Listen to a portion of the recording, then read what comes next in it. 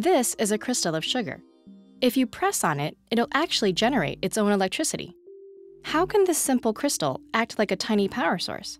Because sugar is piezoelectric. Piezoelectric materials turn mechanical stress, like pressure, sound waves, and other vibrations, into electricity, and vice versa.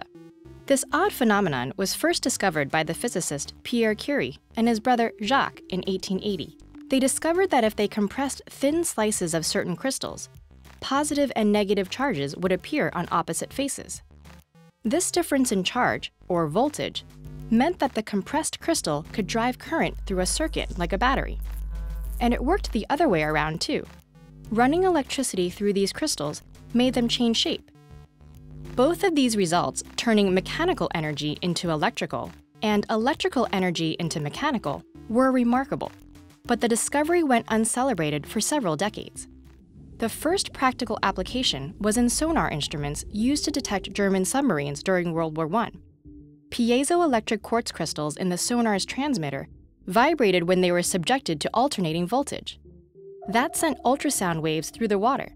Measuring how long it took these waves to bounce back from an object revealed how far away it was. For the opposite transformation, converting mechanical energy to electrical, consider the lights that turn on when you clap. Clapping your hands sends sound vibrations through the air and causes the piezo element to bend back and forth. This creates a voltage that can drive enough current to light up the LEDs, though it's conventional sources of electricity that keep them on. So what makes a material piezoelectric? The answer depends on two factors, the material's atomic structure and how electric charge is distributed within it. Many materials are crystalline, meaning they're made of atoms or ions arranged in an orderly three-dimensional pattern. That pattern has a building block called a unit cell that repeats over and over.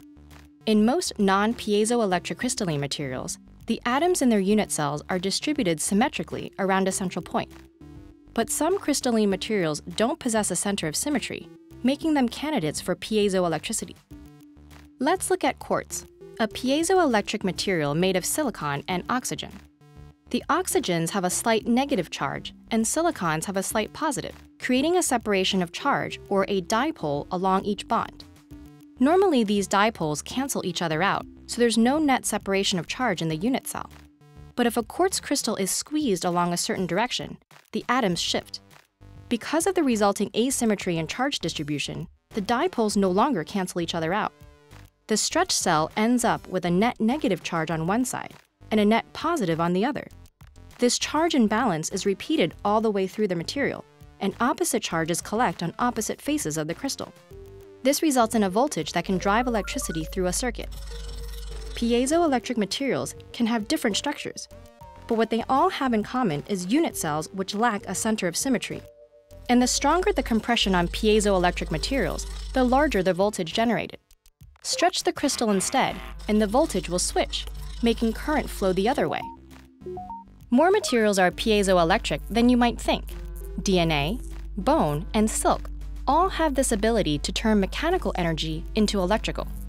Scientists have created a variety of synthetic piezoelectric materials and found applications for them in everything from medical imaging to inkjet printers. Piezoelectricity is responsible for the rhythmic oscillations of the quartz crystals that keep watches running on time, the speakers of musical birthday cards, and the spark that ignites the gas in some barbecue grill lighters when you flick the switch.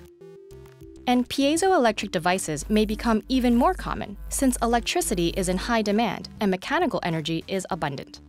There are already train stations that use passengers' footsteps to power the ticket gates and displays, and a dance club where piezoelectricity helps power the lights. Could basketball players running back and forth power the scoreboard? Or might walking down the street charge your electronic devices? What's next for piezoelectricity?